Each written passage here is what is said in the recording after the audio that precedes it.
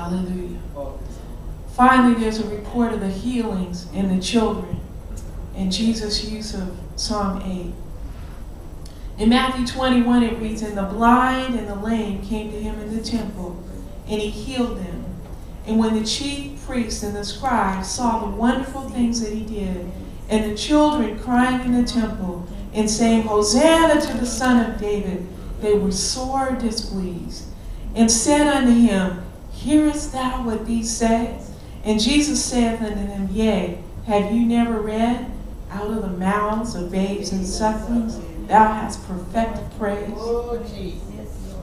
By answering the prayers of the outcast and making them fit for the sanctuary, Jesus put the temple back in its proper place. He made it beautiful once again. Yes. He cleansed it. Yes, he did. He demonstrated that he was the divine Lord, the messenger of the covenant. And he indicated that he was the fulfillment of Psalm 8, the incarnate Son of Man, who should raise human life to the level God intended and should receive praise. All of these events in the scriptures that they fulfilled declared again that Jesus was oh. and is the promised Messiah. Yes. That's what church is all about. It's Christ's hospital.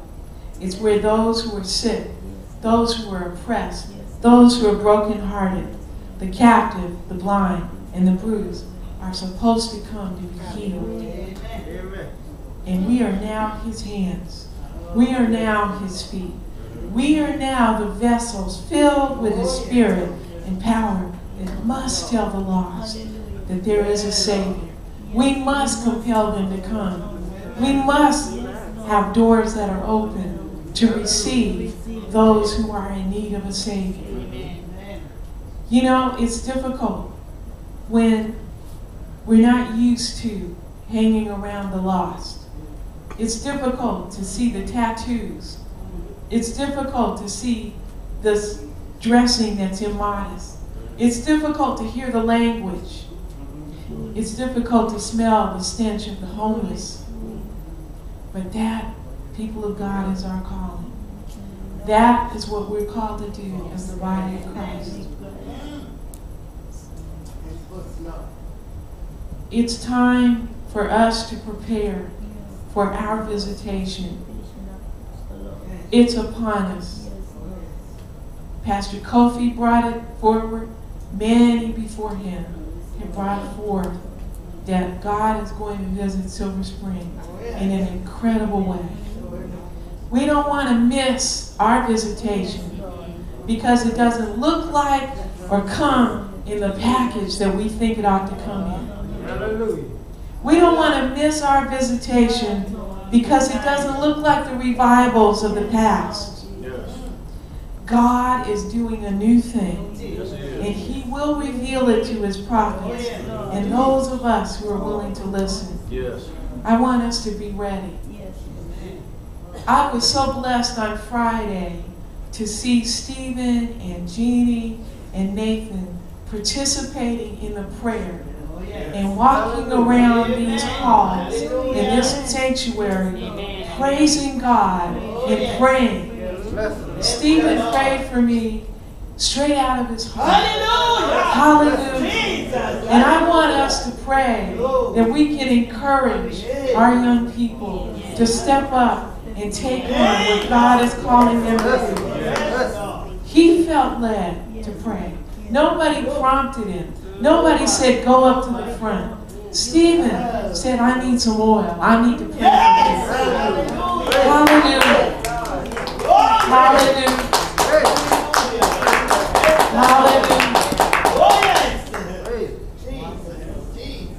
Nathan was praying, sitting here with his mom in front, lifting up all the young people in our church.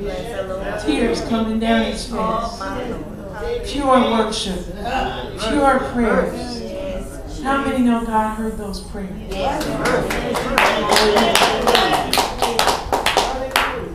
Pastor Kilby has said many times that the revival is going to come among our young people. So we need to pray. We need to be their cheerleaders. We need to encourage them. Amen. in turn, God has not left the adults behind either. And we need to get ready. We need to get ready by worshiping with a pure heart. We need to get ready so that we're focused when we worship. We're not just singing songs, but we're focused and we're worshiping with a heart that's pure. We need to get ready by ministering to God's needs first. Amen. We don't need to come into the sanctuary empty. We need to come filled so that we can contribute to that powerful noise of worship and praise that's going on all over the body. We need to get ready by being rooted and grounded in the Word of God. Yes. You see, we don't know with all the laws going around, we don't know if the day's coming where we won't be able to meet like this. We don't know. No, we don't. So we got to hide this word in our hearts. Amen. In the day of trouble, we ought to be able to pull out the scripture and confess the word of God because that's the power. That's where our answers are. Yes. We need to take a small passage and meditate it and let it fill us up. Oh, we need to be filled with the Spirit. We need to ask God to pray and cause us to be refreshed and renewed. We need to come charged up and fired up and ready to be used. Oh. We need to get ready by quickly repenting. How many know we're not going to leave this earth without having sinned? Amen. We sin on a daily basis, both in thought, word, and deed. But the Bible tells us that we need to quickly repent. Yes. If we hold it, the enemy has an opportunity to come in. And he is waiting and watching to take us out Yes, on a technicality. Yes, it is. He doesn't care. He doesn't care about how hurt you are Mhm. because of the sin that was done against you. He doesn't care about how justified you are in the way you feel. Yeah. He doesn't care, Yeah. but you need to care because God wants you to quickly repent. Yes. It's time for us to consider what it cost Jesus Lord. every day. Yes. This is the time of year when we consider the cross. Mhm. So when we miss it, we need to quickly repent. Yes. As a church, we need to mature and grow up and stop focusing on minor things. Amen. Hallelujah. We need to be stop being critical of one another. Mhm. Pastor Kofi mentioned something that hadn't occurred to me, but he said there's competition in the church. We need to stop competing with one another. I'm here to tell you that God plants the people of God in the church as He will. Yes. Yes. We don't know why we're here, but God planted each and every one of us, and each and every one of us has a part to play. Hallelujah. We have a part to play in the building of the kingdom of God. So we need to encourage one another, Yes. and we need to submit one to another. Yes. Amen. Amen. We have several gifted ministers, gifted musicians. We can't compete with one another. We each bring a different gift. We each bring a different approach to this gospel. But it's all necessary Tell it. Tell it. because the ones I can reach, Sister Cindy can't reach. The ones Sister Cindy reached, Pastor McLeod can't reach. Hallelujah. And so forth and so on. Yes. We need to lift up our pastor and Sister Rose on a daily basis. Great is the warfare. Yes. Amen. Great is the warfare. We need to stay connected. You see, the devil likes to isolate. He likes to fill you with lies and self-doubt. Don't let him get in and talk to you. You have to tell him the way Jesus did. Get thee behind me, Satan. He's trying to destroy you.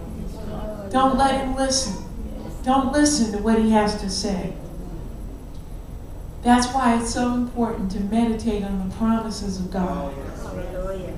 It's so important for you to know that you are a chosen generation, a royal priesthood. It's important for you to know that He gives His angels charge over you, that you are the righteousness of God, that He's called you, He's equipped you, He's gifted you. Today I want to invite you to come. We've covered a lot of ground. 600 years of prophecy, 300 prophecies spanning over a thousand years were fulfilled in Jesus Christ. Yes. Yes. And today He's calling each and every one of us on the greatest journey and to receive the greatest gift. We're all family here today, but I want to make sure that if there's anybody here that needs to give their heart to Jesus, now's the time. Your days are short, the time is short.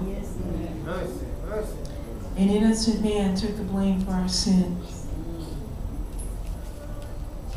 You know this passage.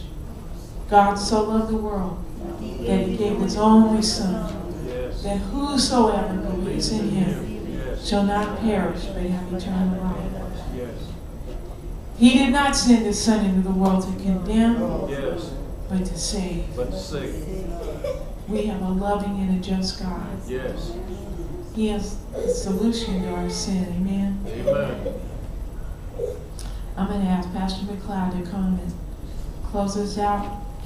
I hope this encourages you. I hope that you will hear me and get ready for the visitation of the Lord. Amen. I hope that you will pray and be all that God has called you to be. And watch how God changes us and changes our church. Amen. Hallelujah.